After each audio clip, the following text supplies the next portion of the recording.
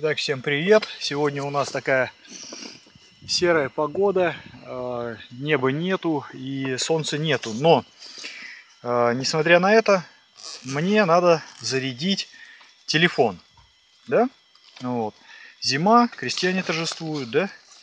И э, сегодня речь пойдет про довольно интересную вещь, которая мне пришла. Это маленькая компактная солнечная панель. Да, вот она умещается на ладошке.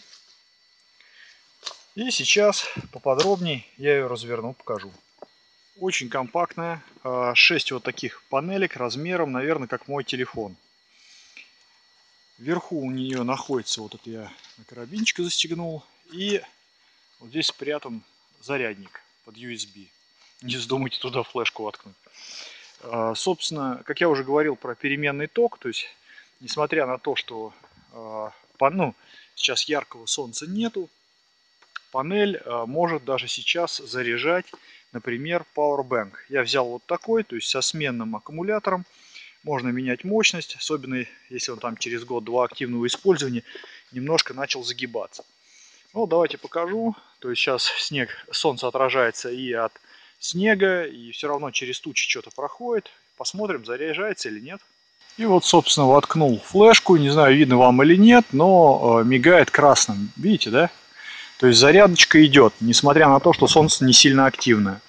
При этом лучи попадают не под прямым углом, вообще хер знает как. Вот, то есть можно закрепить на рюкзак, и пока вы гуляете, вам немножечко Powerbank зарядится. Потом с Powerbank, когда уже электричество выпрямилось, накопилось, вот, вы можете перекачать на сотовый телефон. Ну или там планшет, что вы хотите, там вейп свой какой-нибудь или еще что-то. Вот.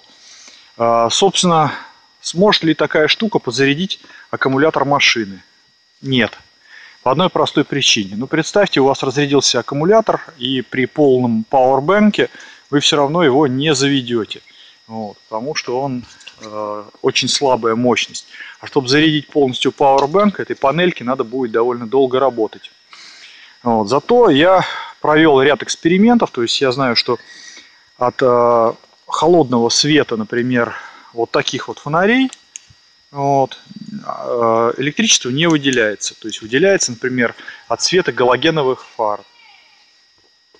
Вещь компактная. Кто проверял, э, работает она от солнца или нет, вернее от костра, э, напишите мне, очень интересно. То есть я обзаведитесь обязательно, вот я несколько таких пауэрбэнков взял. Собственно, срочно, опа, надо бежать. Опа, упал. Но при этом держится, не промок. Простой, эффективный в походе вас выручит. Ну и по весу он где-то так, как, теле, как кошелек с ключами.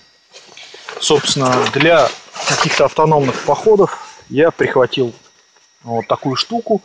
Вот. Собственно, есть панели побольше, но я не знаю, их неудобно таскать в рюкзаке. И я он планшет-то смял, он треснул. Вот, а тут еще панели вот эти вот. Есть огромные, мягкие, вот, но они все равно трескаются. Поэтому пока вот провожу эксперимент с оптимальными. Вот. А, насчет костра поэкспериментируйте и выделяет ли это ИК свет. Вот, например, угли костра. Можно ли от них ночью э, запитать вот эту вот панельку.